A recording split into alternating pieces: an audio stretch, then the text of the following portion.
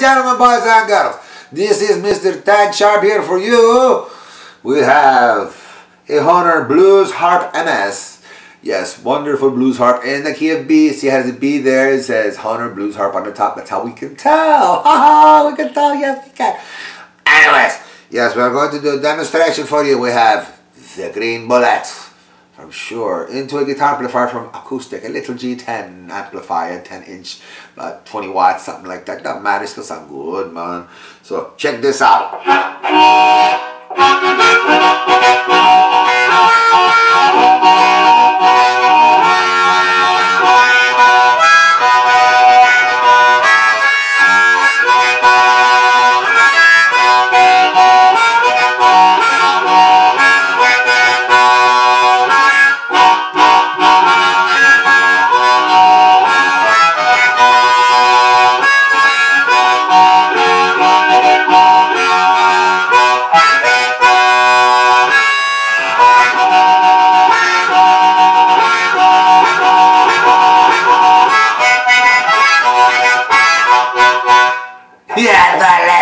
happens right a there got me in.